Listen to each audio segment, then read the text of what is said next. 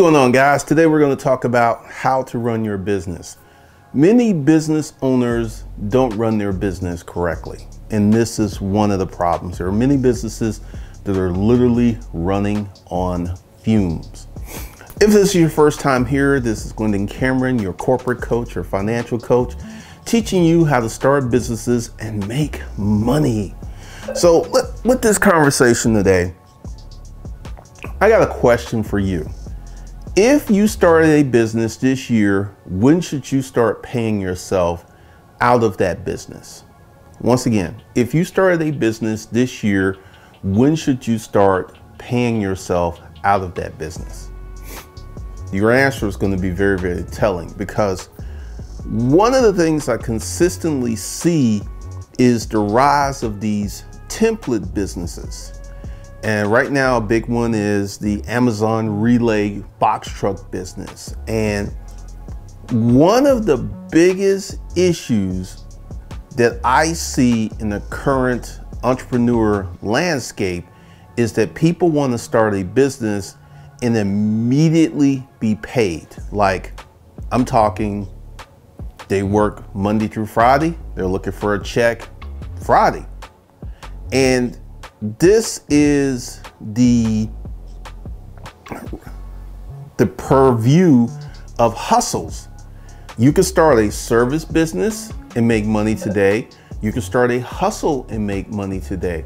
But starting a durable, long-term business model, it doesn't work that way. I'm about to say something that's going to sound really, really shocking. You should wait a year or two before you start paying yourself out of the business. Now, why is this? First of all, this gives the business all of the business money to grow. But you got too many entrepreneurs who are literally biting off their cash flow. Like, like give you an example. I ran some ads like last month and I came up with a lot of really good data and it cost me 5,000 bucks. I did not expect to see an immediate return. And you know, what I've dug was this big rabbit hole that really uh, opened me up to redesigning my whole business. But I had a budget of $5,000 to test. And there's still money in my personal accounts. There's still money in my corporate accounts because I'm going to start running ads again once I get that um, course and stuff built out because that was the problem because I was getting people from the creative to the webinar and they weren't really interested in the landing page. But what I'm saying is most businesses are literally running on fumes. And this is one of the reasons that this pandemic was so devastating because essentially they were, you know, as long as I get paid this week, I'm good for next week. That type of activity.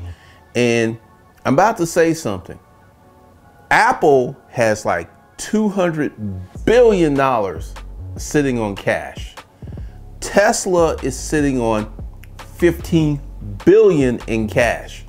So one of the things that you got to understand, because right now, in especially in the personal finance sector, savers or losers. You're you're being taught not to sit on cash. You're taught to spend it, to invest it. And from a business standpoint, that doesn't necessarily work. Warren Buffett, I think, was sitting on a hundred and something billion in cash. When you are in business, you need to have cash money in the bank.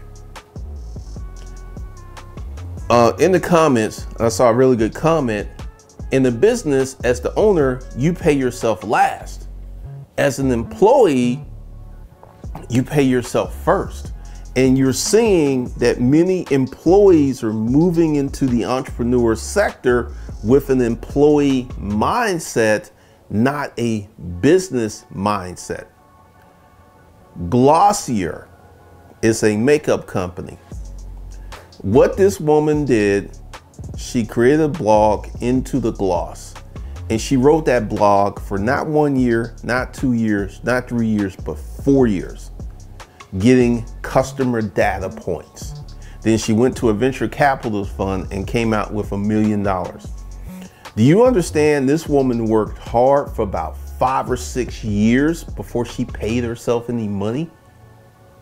And right now, you got so many people who claim to be investors, but they're not really they're they're um they're employees with an employee mindset toward business and investing. Like, hey man, I put $500 in there Monday. It's Monday. Where my where my returns? Where my dividends? And one of the things, like Facebook, here's a good example. Amazon.com did not make a profit for 14 years. Why? Jeff Bezos kept spending the company's cash. And Jeff Bezos, interestingly enough, worked on Wall Street, so he knew how to corporately structure his company where his board of directors and his investors couldn't tell him what to do. And Jeff Bezos stuck to his guns and built Amazon to be Amazon what we know today. Did not make a profit for 14 years. And Jeff Bezos did not get this big payday until after Amazon became Amazon what we know it to be today. And one of the things as an entrepreneur, as a long-term entrepreneur, as someone who wants to build something sustainable and something scalable, you're not going to be able to pay yourself immediately. You're going to have to leave that employee mindset and transition to a business owner because this is one of the reasons I will never ever tell you to quit your job to start a business. And this is one of the things I'm starting to see with these YouTube ads, which I think are somewhat cancerous because this is the predicate of these YouTube ads that you can start doing this in your spare time, in your spare time, and you can start making 15, 20, 30, $40,000 a month. You don't have to change and the money's gonna come quick. You know why these ads are designed like that? They're designed for your employee mindset. I work today, I get a check the end of the week, I get a check next week. That's what they're designed for because they know most people have an employee mindset. And that's why they're crafting these ads to sell their products to you from that premise of an employee mindset. So, as an entrepreneur, when you're building your business, I know this is going to sound really, really fantastical, but it may be two or three years before you can pull money out that company. I know that's like depending on what you're doing. Now, one thing is different. You can start a service business and start making cash very quickly. And I already had some people, hey Glendon, you don't have no service business, but you keep talking about service businesses. Let me just say this. I'm trying to help you that ain't my program. I don't have to start a service business. I'm trying to help you because you don't know what you want to do to make some money. So for anyone who has this, leaves one of these comments, hey Glenda, you keep talking about service business, but you don't have a service business, you will be deleted, mocked, and blocked. But moving forward, a service business very much aligns with the employee mindset because you can make money you do work today, you can make money today. But typically, you know, if it's like a car wash, that's something you can turn into a business. A lawn care service, that's something you can turn into a business. A cleaning service, that's something you can turn into a business. So there are many service businesses that you can turn into a long-term and durable um, business model. But the reality is that many business owners are still operating from an employee mindset and they don't have a strategy. They don't have the Jeff Bezos ethos of building this company and making this company the most valuable company that it could be, which means that as the business owner, you eat last. Once again, pay yourself first as an employee. I very much agree with that. But as a business owner, because one of the things uh, we we had a little dust up over at Savage Finance where this trick, because she's a trick, actually said that paying cash was risky.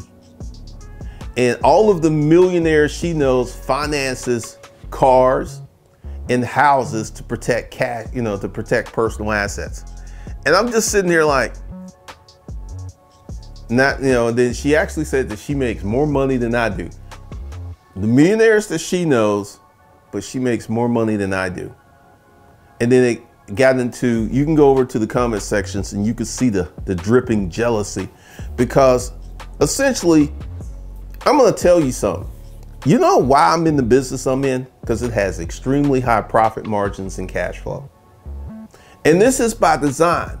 When I was listening to Earl Nightingale's Lead the Field, what it did for me, I was like, one day I want to do that for people. I want to set up some system. I want to do the same thing. So I made that goal when I was in the boarding house to be doing this. And I have very high profit margins. I have extremely good cash flow. And this is why I'm in this business because I like it it fits my personality. I have a media company, I have an education company, I have a YouTube company. The YouTube company slash the media company.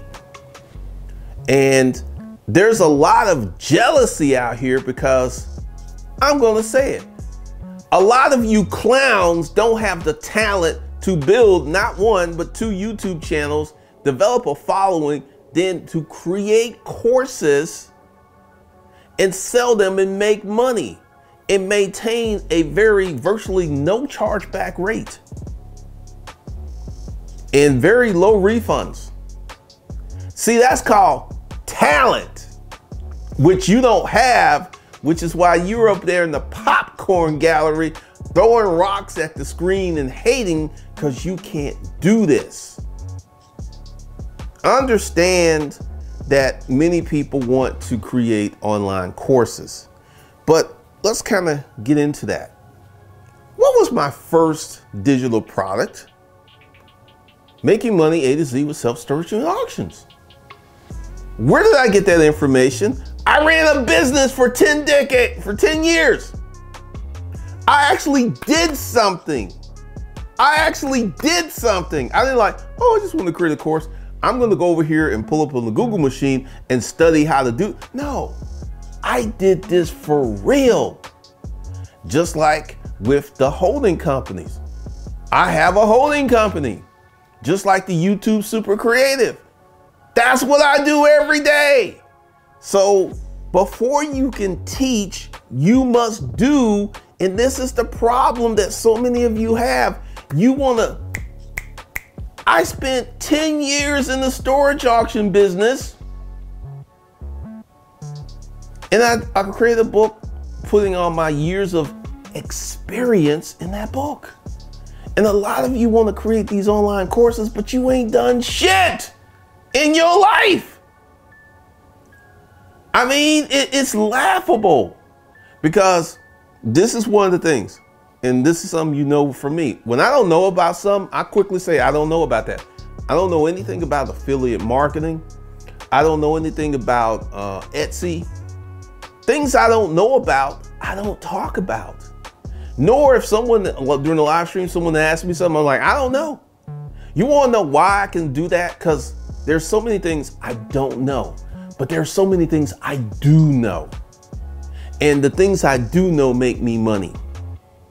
So I'm comfortable being radically transparent on what I don't know. If I don't know something, I'm going to tell you because that's how I operate. But one of the things, but back to the the subject, because I got diverted by the trick alert. Um, one of the things that I want you to understand is so many business owners don't have proper books, don't have proper accounting, don't have proper financial protocols, don't have the proper um, budgetary systems in place. Like I'm paying myself out of my company. You know what?